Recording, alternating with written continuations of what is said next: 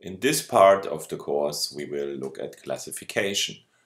First of all at unsupervised classification and afterwards at supervised classification. So we generally try either to find groups in the data or we search for rules in the data set that predict why an object belongs to a certain group.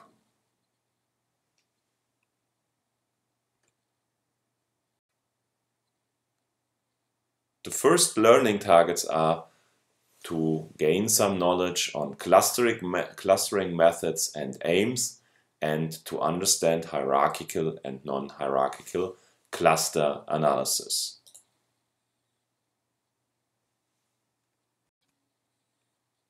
Here you have the review questions, the study questions related to the different learning targets. So go through them after you went through the video and check whether you picked up everything that is expected from you to pick up.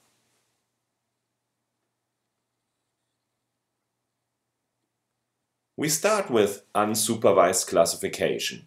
In unsupervised classification, we don't know whether the data has a group structure. And we search for a potential group structure that is not known a priori. So we want to identify hidden structures or grouping of similar observations. And you see a graph that's displaying what we mean by that. Note that these examples that I provide here are just serving the purpose of illustration and they are not based on real data. So don't take these for some ecotoxicological truth. On the left hand side, we see that we have identifiable groups. We have the chloride atoms in the molecule against the toxicity per nanogram biomass of animals. And we can see that when chlor chloride atoms are added to the molecule, that you have some stepwise jump in the toxicity. So toxicity is relatively similar between 8 and 11 molecules. Then it jumps when you have about 13 up to a higher level of toxicity. That remains more or less the same. And then once you reach 22 molecules of chloride in, in uh, atoms of chloride in the molecule in the complete substance, then toxicity increases to a new level. In the right figure, we see that we have for fluoride atoms, we see no relationship between the atoms in the molecule and the toxicity, and we couldn't identify any groups in this case. Overall, unsupervised classification methods have been developed for different purposes and there are different methods available. One of the most prominent methods is cluster analysis that is it has a longer history than many other of the novel methods. Novel methods include, for example, self-organizing maps, but we limit our discussion to cluster analysis.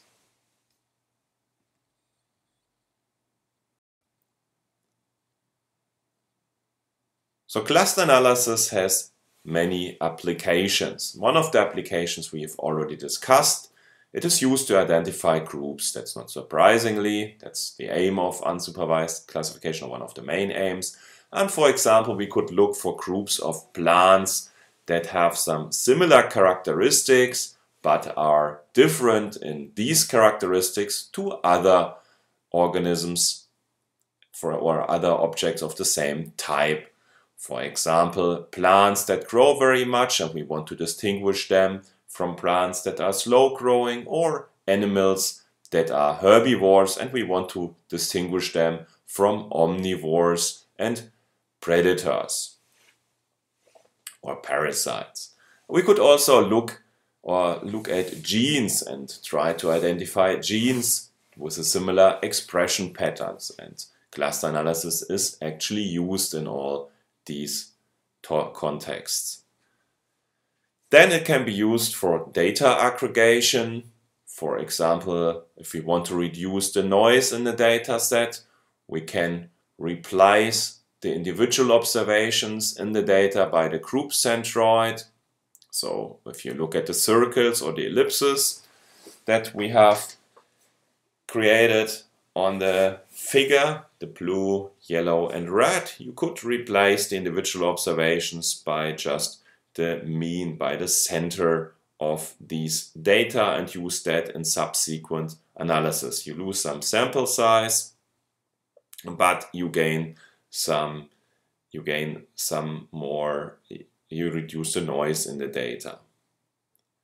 In addition, we will show you that through cluster analysis you can reduce the dimensions of the data. For example, in the dendrogram. And this dendrogram can is also a way to visualize the distances or similarities between objects in a two-dimensional space. And this is very helpful and an alternative to ordination in case that we have really grouping structure in the data.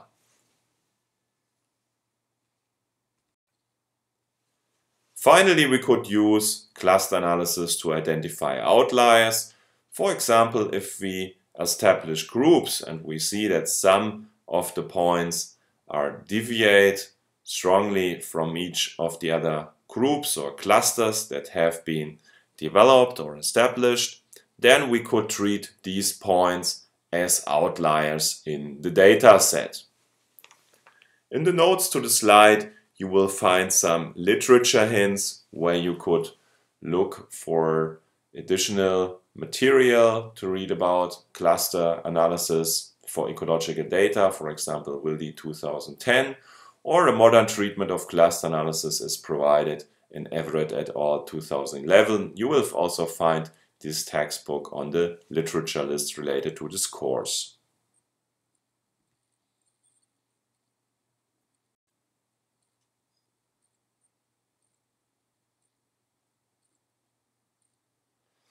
So how does cluster analysis work?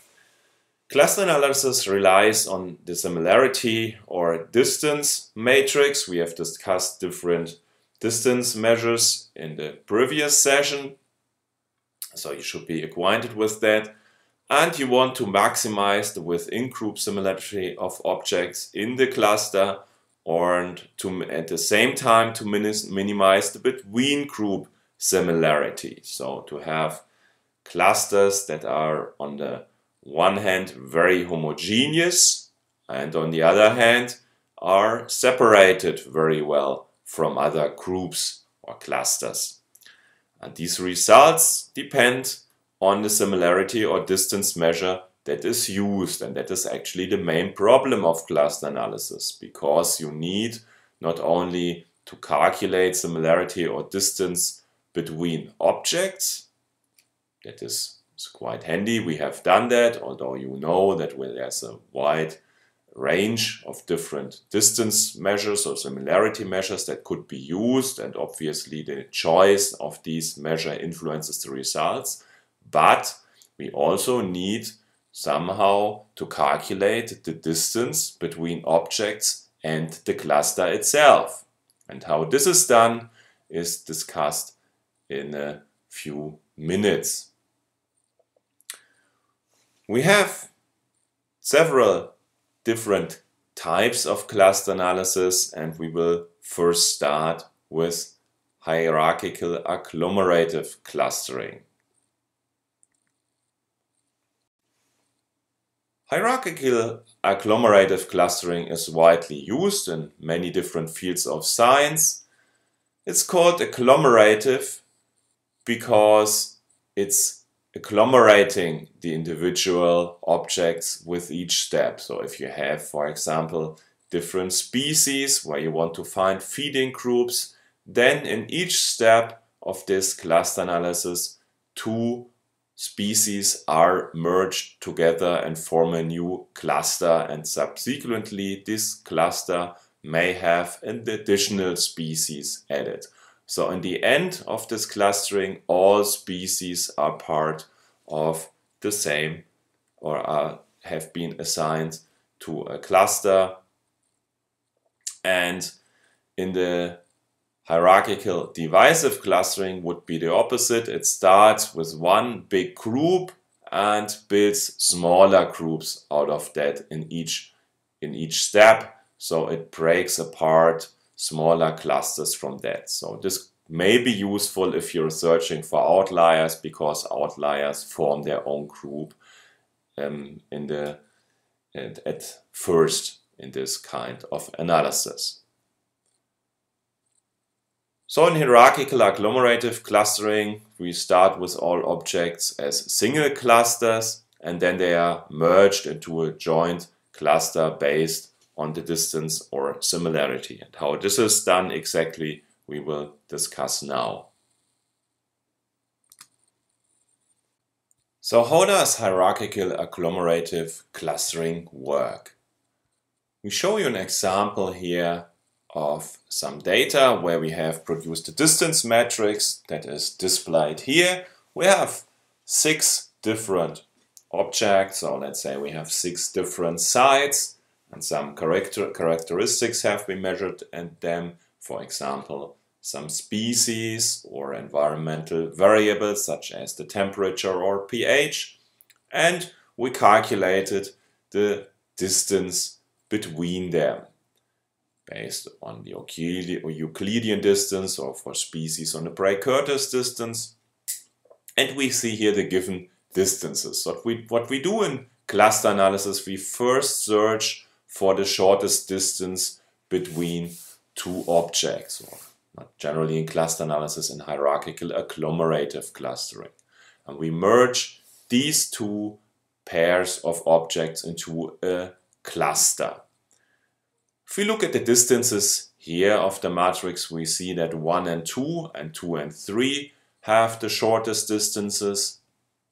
And in the first step, it's then rather random whether you merge 2 and 3 or 1 and 2. There may also be additional digits of the distances where these two are can be discriminated.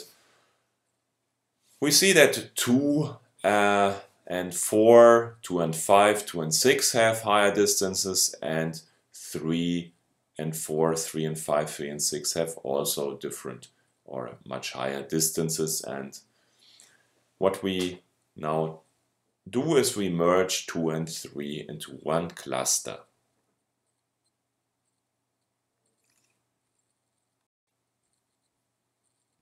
Now that we have created a new cluster we see that we only have five objects in our headers for the columns and for the rows. So we have one, we have the cluster 2, 3, and we have 4, 5, 6.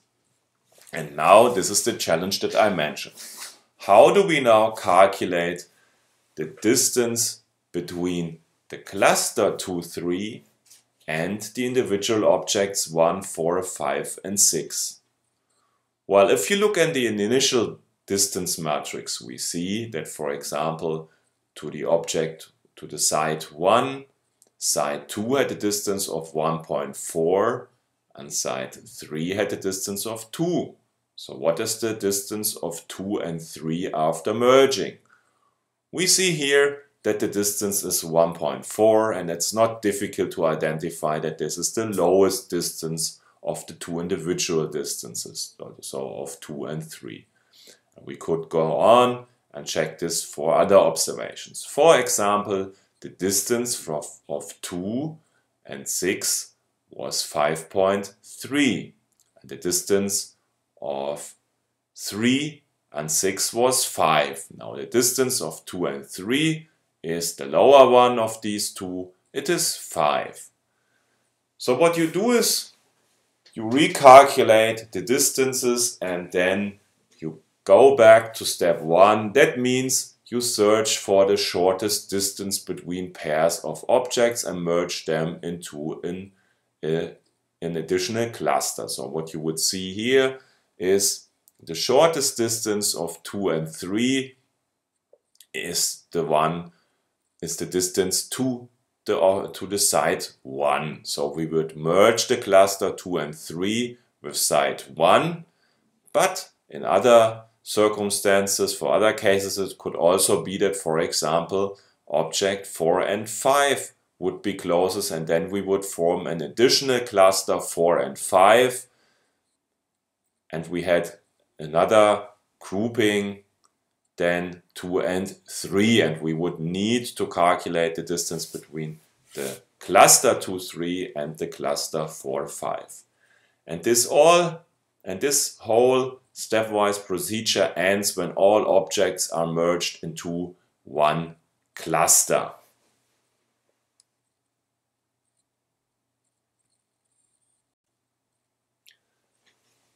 And this is displayed here, what is meant by that. It may be counterintuitive at the beginning that all objects are merged into one cluster, but see what we mean by this. In hierarchical agglomerative clustering, we have stepwise clustering, so in each step, two objects are merged. So have a look at this figure. So what we see are, let's say again, five sides, 212, 214, 233 and so on. And the distance between the sides are on the x-axis. Now the, the, the two sides 212 and 213 14 seem to be closest so they are merged first then we go the next step where 431 and 432 are merged and in the next step then we merge 233 with the cluster 432 and 431. Again, keep in mind that we are not looking at the distance between 233 and each of the individual points, but between the cluster 432, 431. And after we have done this, we merge this cluster of the three points now 432, 431 and 233 with our first cluster 212, 214 and now all objects are, are merged into one big cluster. And you can see the distance is almost one. That, that means between the, the cluster 212, 214 to the other cluster there's almost no similarity.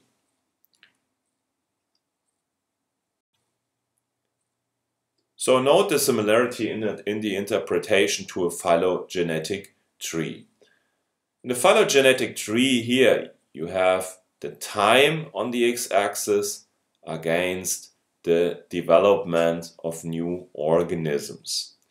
And we see that many of the primates and some rodents share a similar ancestor.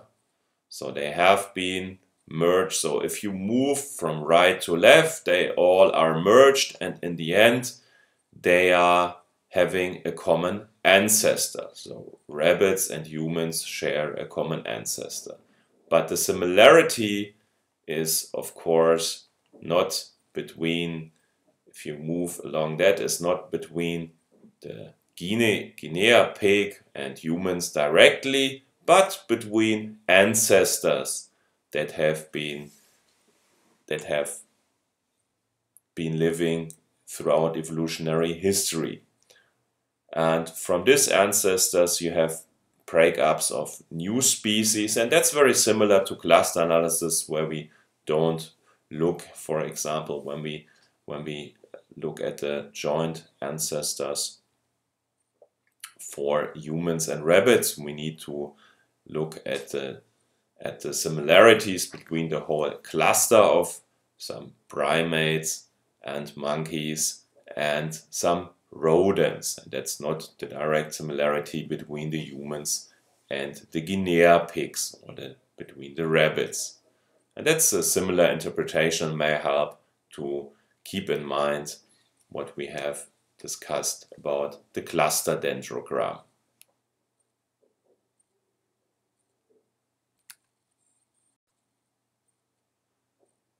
And here's an uh, example from a study where hierarchical agglomerative clustering has been applied. The question has been what are the functional feeding groups and Kenyan freshwater invertebrates, so many streams were sampled, the organisms identified, and afterwards they used the different the different species. Uh, better the characteristics of the species was was the gut content here. They looked what the species had eaten. And they used this to calculate distances between species which were then put into cluster analysis to identify groups and we see here that they came up with some grouping structure based on the feeding of the origin of the of the invertebrates and that can be helpful in ecological analysis. we see that in some of the groups they are relatively succinct and homogeneous where clusters are built and some are relatively heterogeneous. For example, if you look at the scrapers and compare them to the predators, for example, you see two groups of predators, but within the individual group of predators, if you move to the left, you barely see, but there is merging of clusters, so they are fairly similar.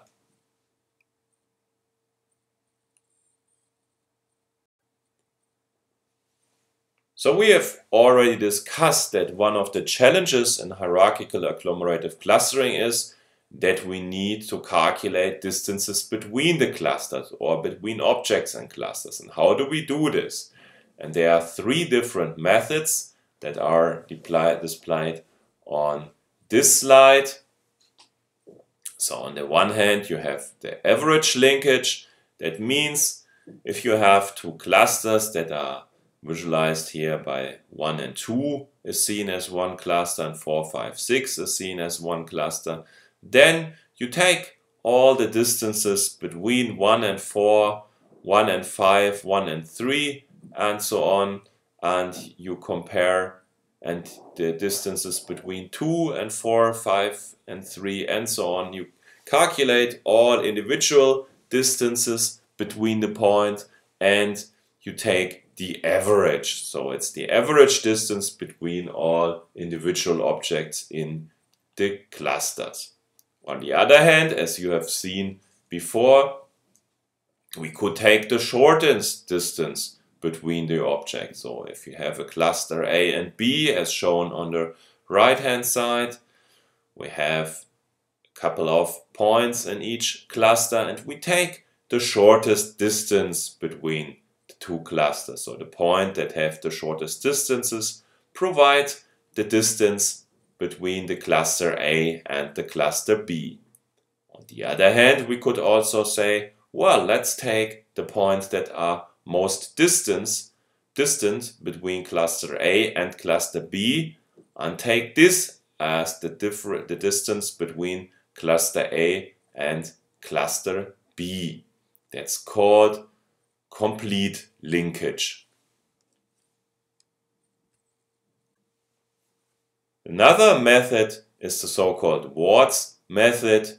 Here we have some similarity to the analysis on, of variance because what we do is we try to minimize the within cluster sum of squares. And how is this calculated?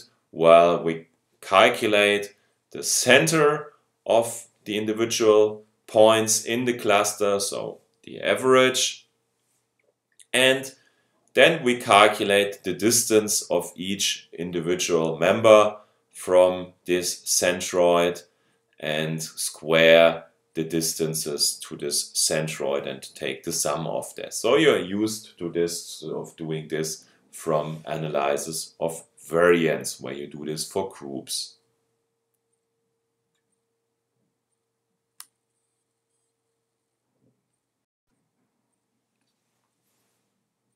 Now, the different methods of clustering have influence on the result of the clustering.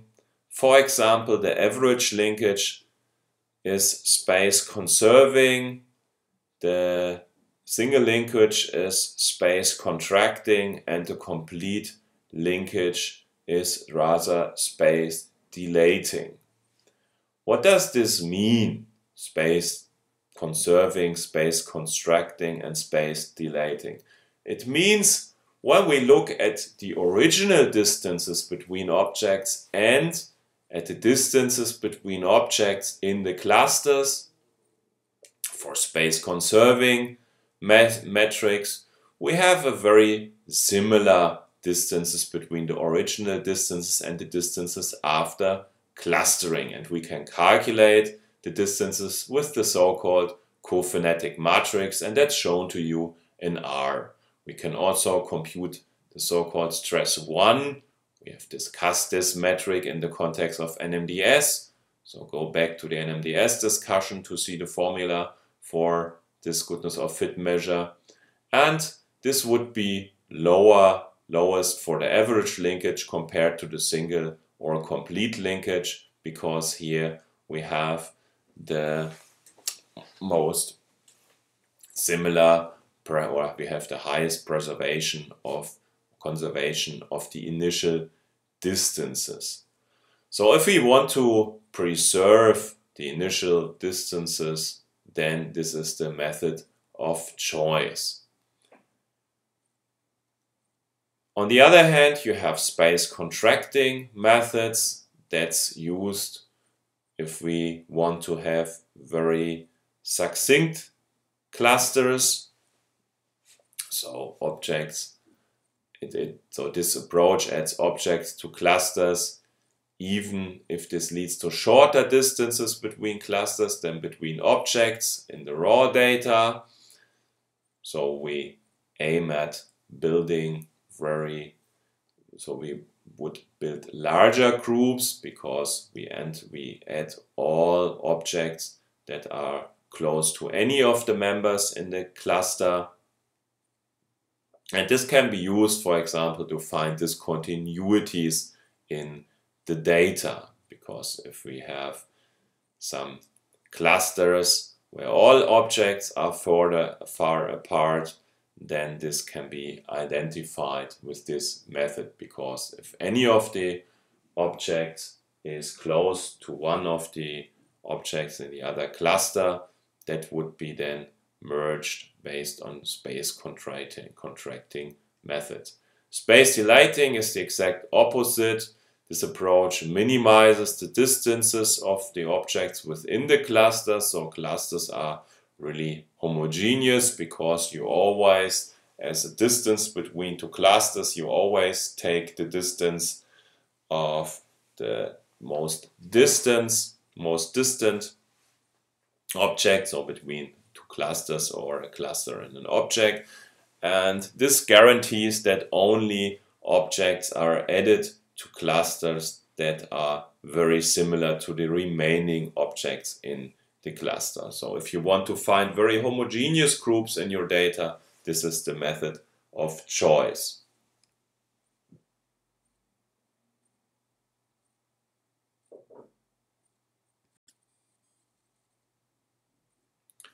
So here you see an example where we use some ecological site data and where some organisms have been measured and we used two different methods, a single linkage and a complete linkage to build cluster. And what you see is that for the single linkage, relatively quickly look at the y-axis here, that's the distance. It's called height here, it's the distance between the objects, we see that at the distance of 0.01, almost all of the objects have been, of the sites, have been merged into one cluster.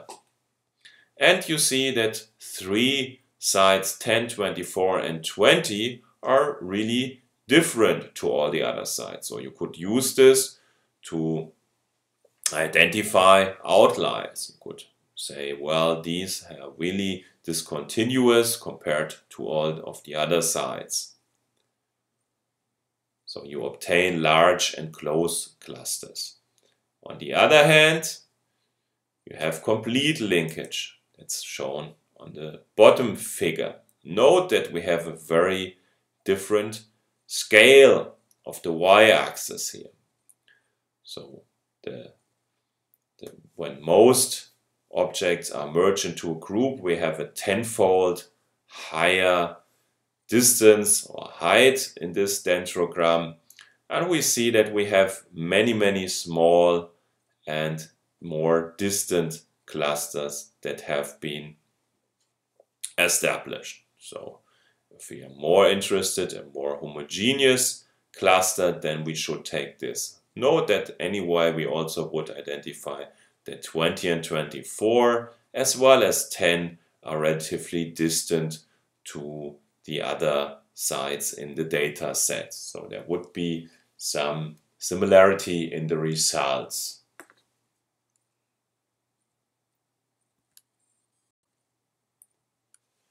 We have so far discussed hierarchical agglomerative clustering.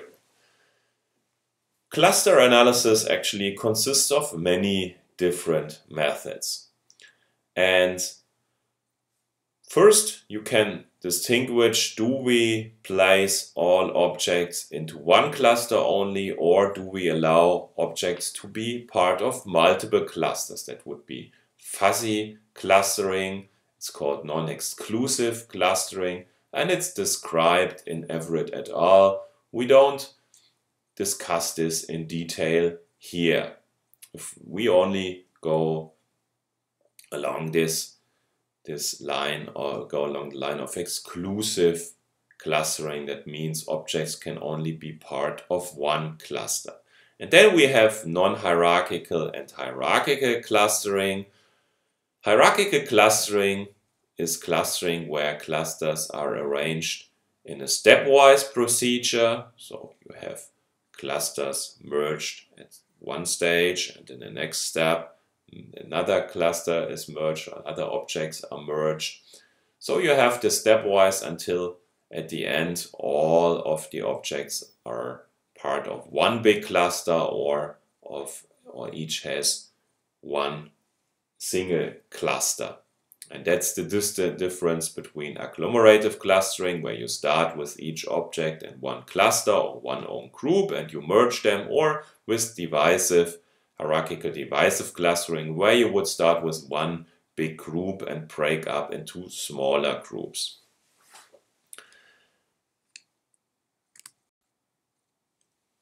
So hierarchical agglomerative clustering is what we have discussed so far. What we will discuss now which is different to that, is non-hierarchical clustering. And this is used to look at maximum. It also looks at maximum within cluster homogeneity, homogeneity, but there is no clear relationship between the cluster. There's no stepwise procedure, so we come up with one partition of the objects in the different clusters, but we don't obtain the steps that led to this result because the algorithm is very different. So we don't have a stepwise procedure here. We will discuss when you should use what after we have discussed k-means or non-hierarchical cluster analysis.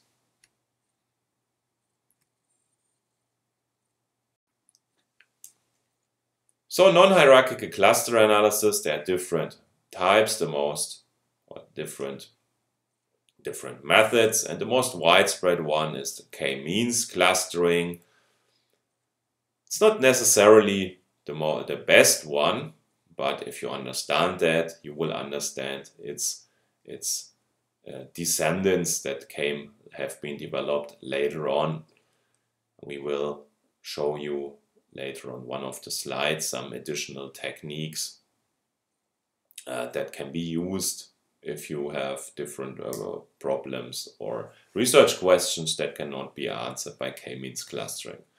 So it assigns objects to a predefined number of clusters, so that's very different to the previous clustering method. In the previous clustering method, we could we, we could cut this hierarchical tree wherever we want and then have a number of cluster and that we wish to have. Here we assign objects to a predefined number of clusters. So we need to define before that we want to have three groups or four groups or five groups or whatever. And that is the problem because if in the example here some numbers are given, if we have for example 15 objects and partition them between three groups, there are already 2 million diff different possible partitions. Now, if we have a sample size of 100, which is not unlikely, so you often have 100 samples and you have all five groups, then the number of possible partitions becomes incredibly large. So we cannot calculate all possible partitions. This becomes unsurmountable even for relatively small sample size. So we need an algorithm that does this for us and um, finds a solution or an alternative to calculating all possible partitions.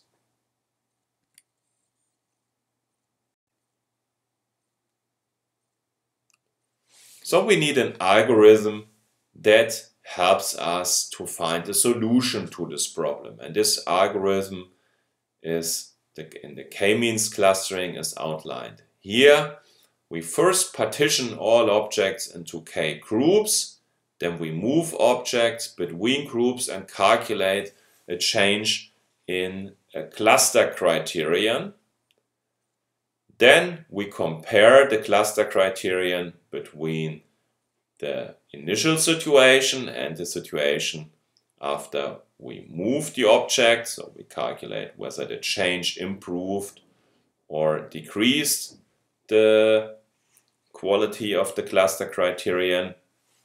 And we repeat this until we have no visible change anymore in the cluster criterion.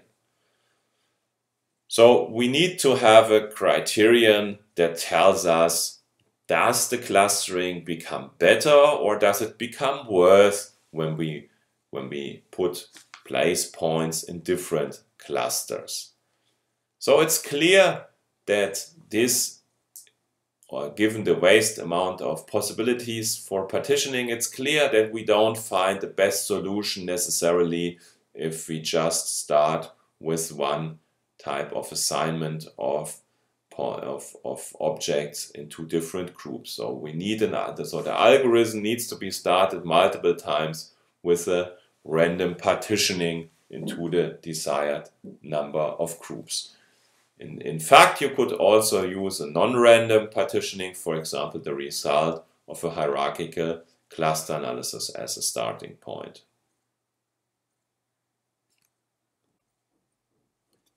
So which criterion can be used to assess what is the best solution and to assess how change affects the clustering? Well, that's again the minimization of the within cluster sum of squares. So we want to have to move objects into one cluster that are very similar, that have a low distance, and this distance is measured of the sum of squares within clusters. And note here the analogy to the Ward's method in hierarchical and uh, agglomerative clustering and to analysis of variance that I mentioned before in the context of Ward's method. K-means clustering implicitly relies on the Euclidean distances when the sum of squares are calculated. So if you want to use it for ecological data, data this requires some data preparation, for example, transformation of the data so that the Euclidean distance can be used with that. We discussed the problems of the Euclidean distance for the ecological data in a previous lecture on similarity measures.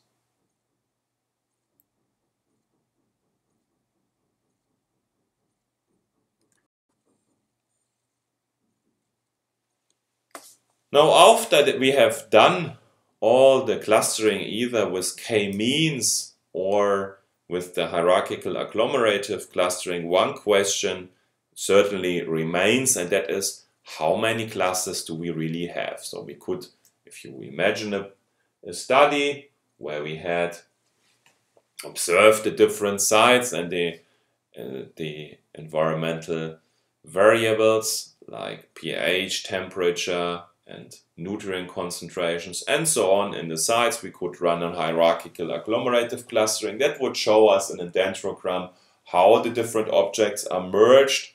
But in the end, they are all merged into one cluster. And where do we draw the line? Where do we say, well, that's the number of clusters that we want to have? We could do this visually looking at the dendrogram for a k-means clustering, it's even different. We have to provide a number of clusters before.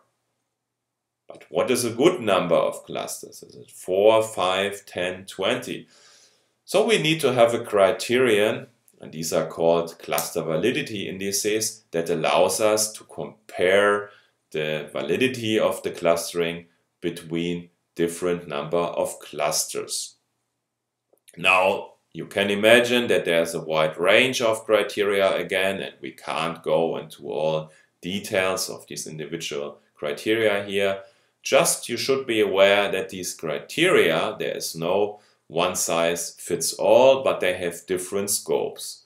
One, one are better to evaluate homogeneity of the clusters, other put more weight on the separation between clusters, Others look at uniformity of the different clusters, so that you have clusters that are relatively uniform in their homogeneity or separation.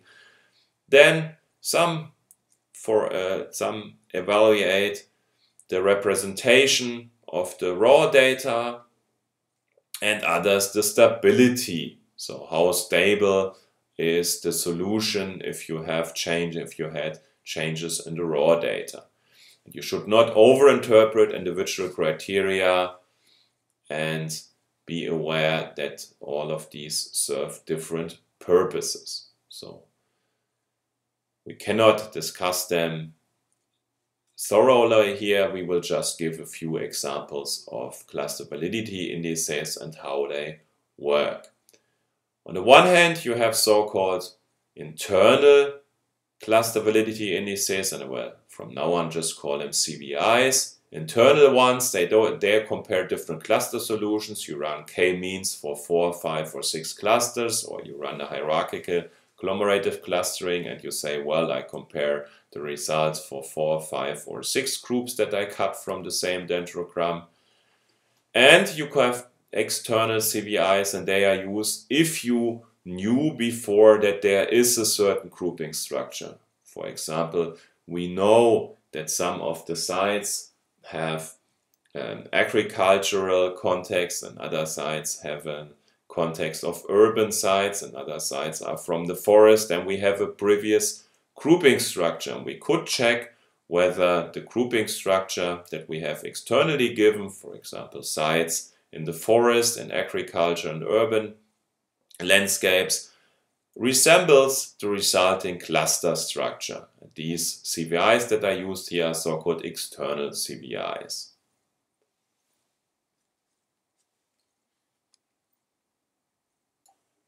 Now we discuss the first internal CVI. This index is called Calinski-Harabasz.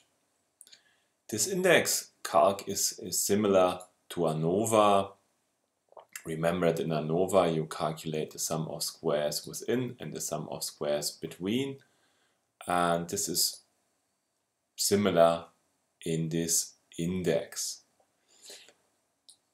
If you look at the picture you see or in the figure the right bottom you see uh, four clusters. Each of the cluster is is has a C for CI is the cluster on the top left, CJ is the cluster on the bottom right. Then you see an X with an overline and this indicates the total mean of all data points. That's the right point in the center. And then you see red points within each cluster. These are the centroids. That's the lower C that indicates these points. And the number of points in each clusters is n, so the number of observations. Now what you do, and without going too much into details of the few formula for calculating the Calinski-Harabasz index, the CH index, which we'll just refer to in the following, is you calculate the within cluster sum of squares. So you take each observation and you calculate the distance to the centroid within each cluster and this will then be squared and you calculate the sum between clusters and for that you take the center of all data which is indicated by the x over line in the, the red point in the center of all clusters and you calculate the distance from this one to all observations. And then you have the formula where you divide the between cluster sum of squares by the within cluster sum of squares. And it should be quite obvious what this uh, that how the goodness of fit is indicated. Uh, it's clear that the higher the CH index, the better the clustering is. Then because the clustering you want to minimize the within cluster sum of squares and you want to maximize the between cluster sum of squares. So a higher Calinski-Harabasz index is better. That means if you calculate this index for a couple of for different cluster solutions, let's say one one for for hierarchical clustering you have four, five, six, or seven, or for k-means you have four, five, six, seven groups selected. Then you can compare these groups with the CH index and you would select the group that shows the maximum CH, so the number of groups that shows the maximum CH.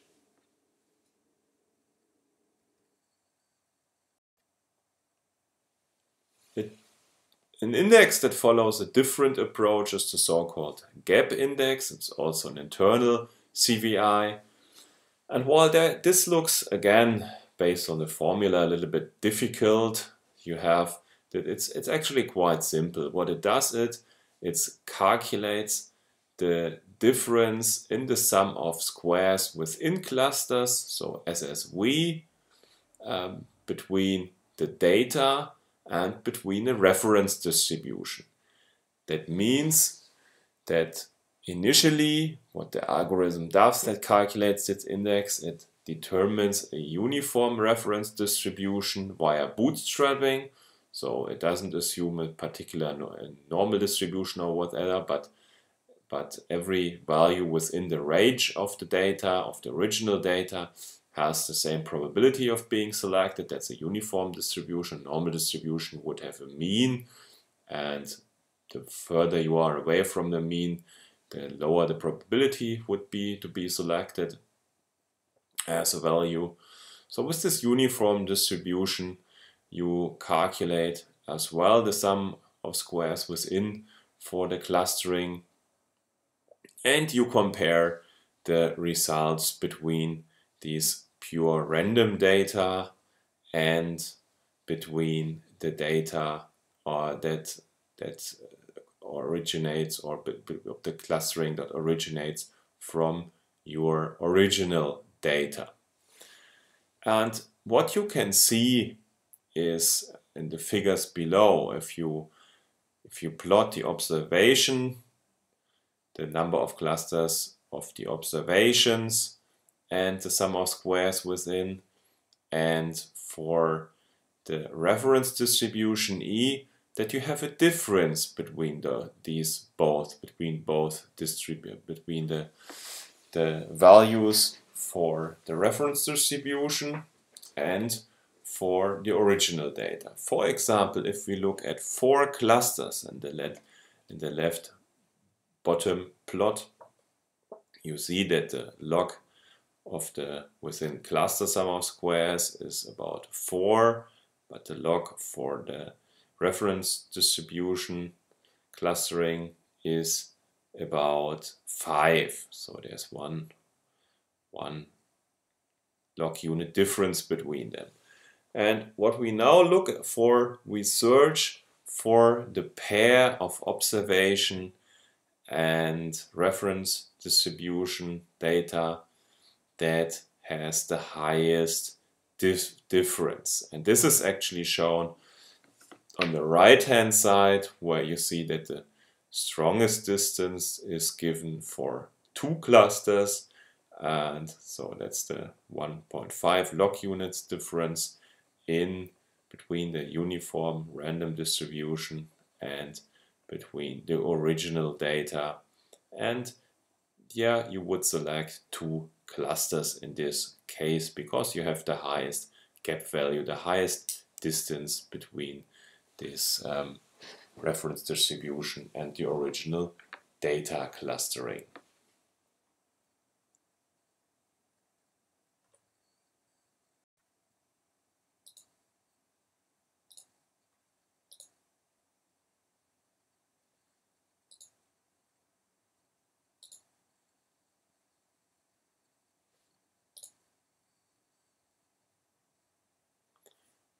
Another internal CVI is the silhouette width S, and this relies on the dissimilarities of an observation to, or the dissimilarity of an observation to the other objects in the same cluster compared to the average dissimilarity of objects in the nearest neighbor cluster. So this indicated by the figure below, you take an observation xe and you calculate within the same cluster the dis this dissimilarity, the distances, the distances, and take the average of that one. And you do the same. In this case, the nearest neighboring cluster would be Cj. You calculate for xy, x, xe the distances to the individual points in the cluster Cj and take the average. And it's somehow obvious that if the average dissimilarity with clusters with their own cluster is higher than the average dissimilarity to clusters to another cluster, then it would be better to actually place this observation in the, in the in a different cluster. So ideally, all of the silhouette width would be larger than zero. Because if it's smaller than zero, it means based on the formula, based on that the average dissimilarity with the observations in the own cluster is, is higher than the dissimilarity with observations from other from another cluster. And this is expressed in the equation that you see here and the denominator in the equation scales the value and it's relatively similar if you compare it to the Bray-Curtis distance, how the scaling is done with the maximum here. Um, we want, don't want to go into more details here uh, of the equation.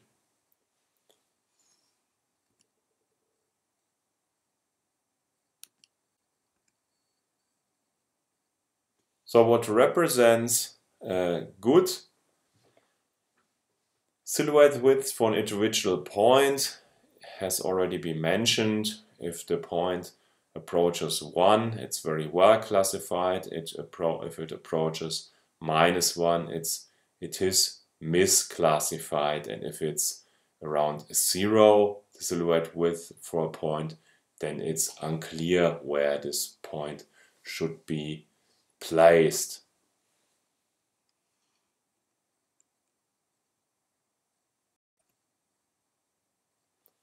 Now, if you don't want to, you know, typically you don't want only to evaluate the results for an individual point, but for the whole cluster solution. If you're using, for example, different number of clusters, you want to compare them, and that's where you can use the average silhouette width. And if you use this index, you calculate the average of all silhouette width over the observations. And the higher this silhouette width it becomes, the better the clustering is according to this index. So you would select the number of clusters that yield to the highest number for S for the for the average silhouette width. And if this absolute value of the silhouette width is above 0.5, this suggests that you have a reasonable clustering. If the value is below 0.2, this actually would suggest that there is a lack of cluster structure.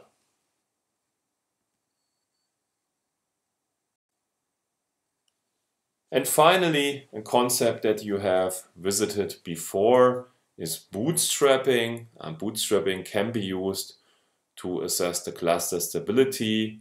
So what you do is you draw bootstrap samples for the original data. So you create 100 additional samples, for example. Then you compute the clustering for the orig original data and for the bootstrap data. So that follows approximately the a similar distribution as the original data. And then you calculate the Jaccard index. So the Jaccard index can, uh, can be used, you know, it's an index for presence absence data. And this is actually in this case, you have a presence or a one is used if you have the same cluster solution for the original data and the bootstrap data and if the observations are placed in different clusters, then this yields to a zero. And to evaluate the overall cluster stability, the, the mean of the Jaccard index across all pairs of original data and bootstrap data can be used. If this mean of the Jaccard index is higher than 0 0.75, then this can be regarded as a good stability. If it's lower, it may be less stable, but this will also depend on the sample size as you will see in the R script. So with larger sample size, it's easier to obtain a stable clustering than with a lower sample size. But it's also obvious because if you just move one individual point, and this has a stronger effect if you have few samples than you have many samples.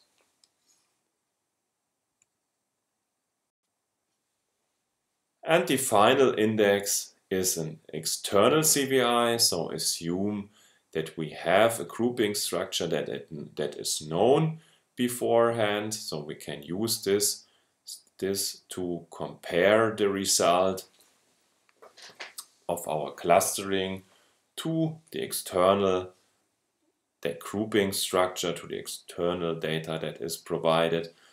And when you look at the index, the so-called RAND index, the index is the same as the simple matching coefficient that we had when we discussed similarity measures and distance measures in the previous session. So there's nothing new here.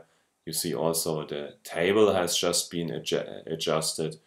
Instead of species presence absence, we look Uh, at cluster results and external data. So you have the A, if you have the same class in the external data and it's placed in the same cluster in the cluster results, if, if a pair is placed in a different class in the external data and in a different cluster for the clustering results, it's D. So these are the true positives and the true negatives. And then of course you have also false positives and false negatives. There's also what uh, an adjusted RAND index that's adjusted to yield zero for two random partitions. So that's what we use in the R software, but for us it doesn't matter here how this more complicated index is calculated.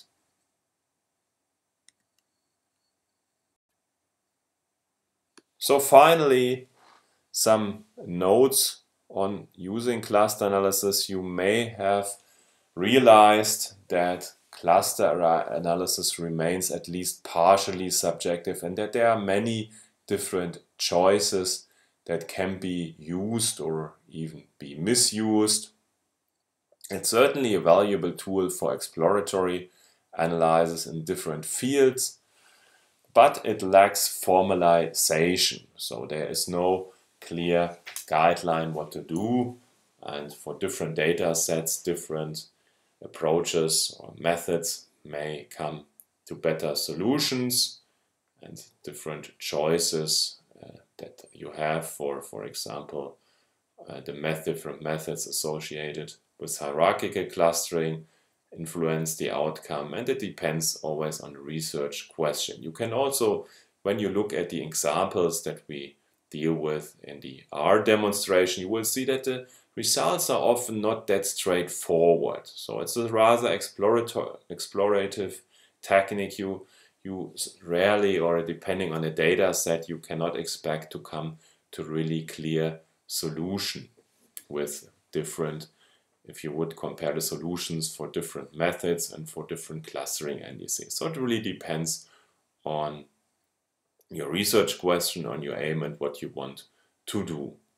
It generally has a tendency to detect specific kind of clusters, so spherical clusters. Some other clusters may not that easily be detected.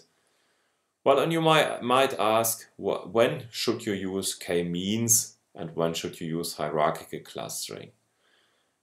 Well, as a few general comments on this choice, k or a narrow k range of k, if this is known, so if you know there are few groups in the data and you can narrow this range down, then you should use k-means if you really have knowledge on the number of groups. Or for example, let's say we have obtained remote sensing data from the from some satellite mission on the Earth surface and we want to classify the land cover in different land cover classes, then we might know beforehand and we want to have 10 different classes and we can use this for selecting the group so the group assignment in k-means.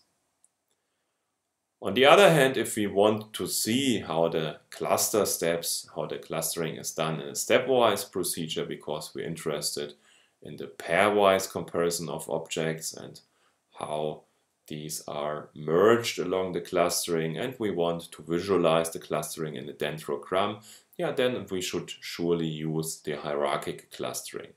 Hierarchical clustering is also generally more flexible, so allows the use of different distance measures and different clustering methods, whereas k-means is restricted to the Euclidean distance and to the sum of squares.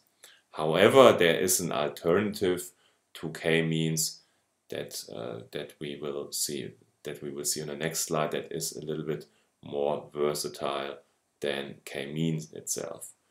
And if you have very, very large data sets with 10,000, 100,000, millions of entries, then k-means is actually much more efficient in computation and hierarchical uh, clustering may take too long for computation. I want to end with a quote from Everitt et al. that you will also find in the note to the slide. The methods of cluster analysis can be a valuable tool in the exploration of multivariate data. Applying the methods in practice, however, requires considerable care if overinterpretation is to be avoided. Simply applying a particular particular method of cluster analysis and accepting the solution at face value is in general not adequate.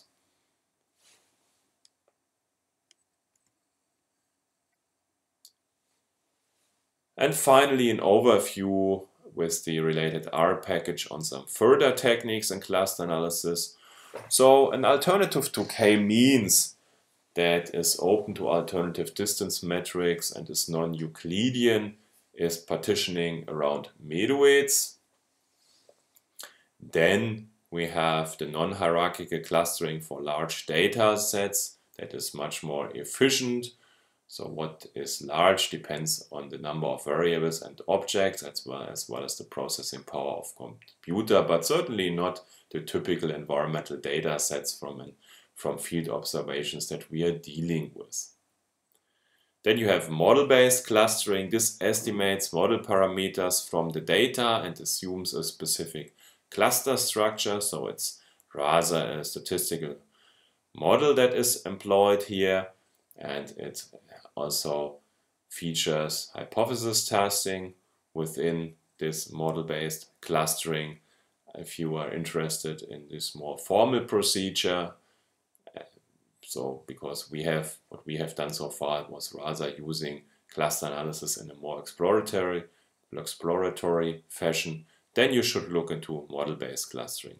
And finally, there's variable clustering. So this can be useful to identify multicollinearity. So you can also visualize the collinearity between variables using varclus function in the HMISC package or you can could even use surrogate variables for highly collinear variables. You could calculate surrogate variables and that's done by the hclustvar function in the cluster of var package. So these are all techniques that you may want to explore depending on the research questions that you have.